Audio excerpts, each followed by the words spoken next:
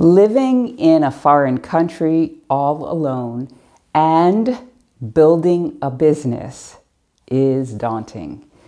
In this video, I'm going to share with you how I stay positive, focused, and at the top of my game while doing that.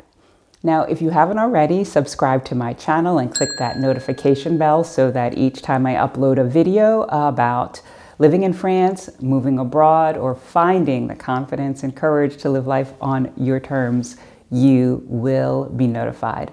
My name is Patricia Brooks, and in 2018, I quit my job and I moved to the south of France. And back then, I didn't recognize it as being a sabbatical. But that's exactly what it was. It was about a two, two and a half year sabbatical where I was figuring out what my next professional step would be. And I found it. And I decided I was going to coach women who wanted to move abroad but lacked the confidence and courage to do so. Find that confidence and take that leap. And I absolutely love what I do. And as a recovering type A personality type, someone who is ambitious, hard driving, a little bit perfectionistic, and a bit impatient too, to not get pulled into what seems to not be working and force myself to work harder to make it happen faster. And so in this video, I'm going to share with you a couple of things I do to, to stay positive. Now, I'm going to take you along on a hike I did recently, um, exercising one of these tips that I'm going to give you right now. So uh, come along for the walk with me. Now, I am taking this particular route for the very first time. I walk by this trail every single day because normally I will um, take my 45 minute walk the same way and I will get to a certain point and then turn left down the trail instead of turning right going up the trail. Part of the reason is because I know exactly how much time my normal walk will take. Well, on this day, I decided to do something new. And I decided to go turn right and go up the path instead of turning left and going down the path because of a book I am reading. It's called 10 minutes par jour, and it's by an Italian author. And I'll put a name, um, the name of the book, and her um, name in the description. And in the book, the main character uh, is having a crisis in her life. Her husband has left her, she has lost her job, um, and she's got writer's block. She's got a book to write, but she's got writer's block. And so her therapist says to her, after I don't know how many months of therapy, Well, do you want to play a game? Why not try doing something uh, you have never done before for just 10 minutes a day? And so she decides she's going to play the game. And so the book takes you day by day uh, on the, th- the things she does for 10 minutes a day. And in the process, she starts to learn a lot about herself, about life, and sees new perspectives. So I decided I was going to take a right turn instead of a left turn. And this is what I found this lovely, lovely trail with this uh, stream, this mountain stream that just sounds amazing. It's just so peaceful and, and tranquil to me. And I you know, have this um, love affair with waterfalls and streams. And I, I can't help to think that it's partially related to my last name, Brooks, um, that the, the water really speaks to me.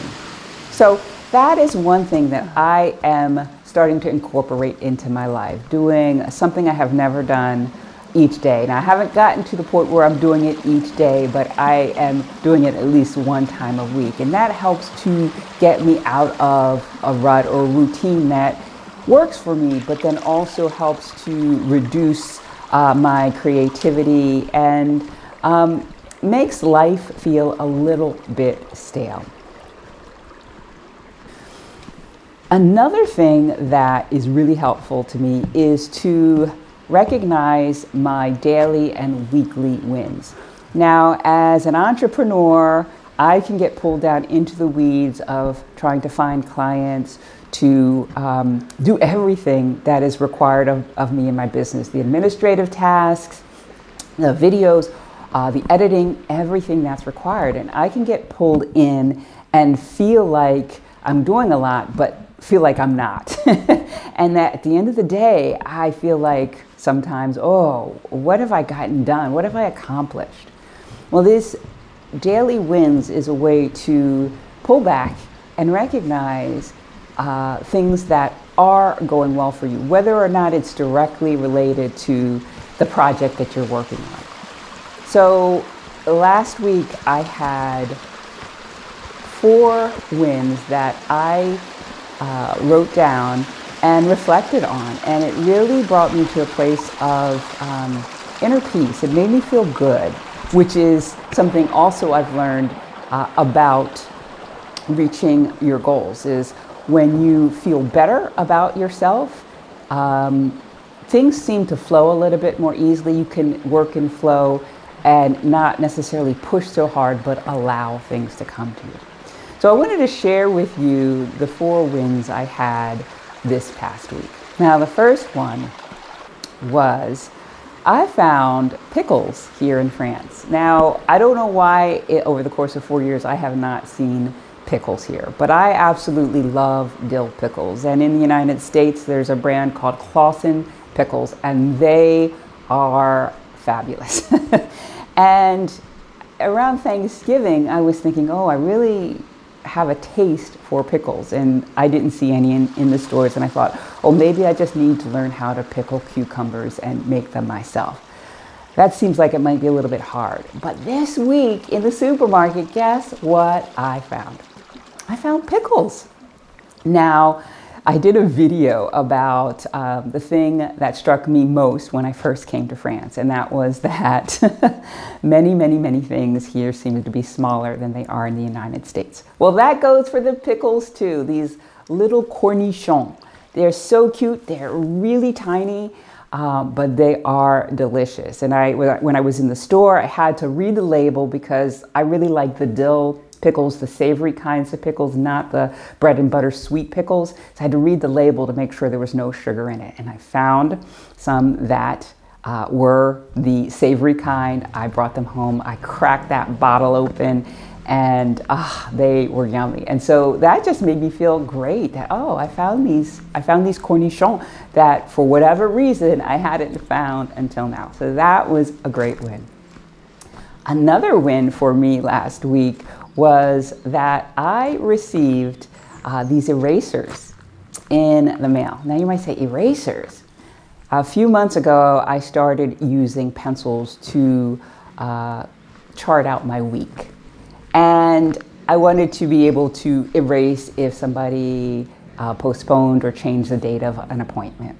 And so pencils are great for that. And I found these really, really nice pencils at the office supply store near me. And so I picked up a couple. And while I was there, I was looking for erasers because these pencils didn't have erasers at the, at, at the tip. And I found like 10 different kinds of erasers, standalone erasers, but none that you could put on the tip of a pencil. So that was the office supply store, nothing there. I went to Le Tabac, and uh, once again, there were eight or 10 different kinds of erasers, but none that you put on the tip of a pencil. It's like, what, why can't I find this, this thing that seems to be a staple in the United States? Finally, I went to this print shop that's in town, and they didn't have them either. So I was like, I don't get it. I, I, I don't get it. The standalone erasers are great, and I bought one because they do work, right? They take the lead off of the page easily.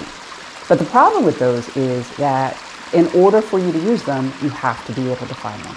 And so if I've got my pencil one place and this eraser someplace else, um, when I need it, uh, that can be a little frustrating. So on Amazon, I found these erasers you can put on the tips of your pencils. And I ordered a pack of 25 of them and they came in the mail this week.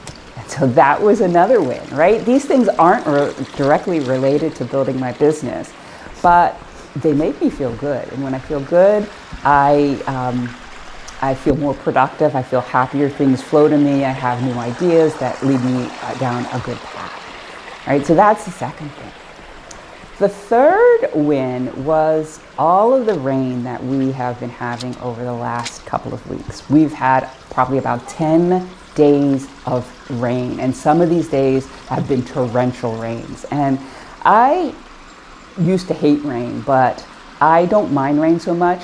But 10 days of rain straight with no sun uh, really started to wear on me about day eight or nine, which is really saying something.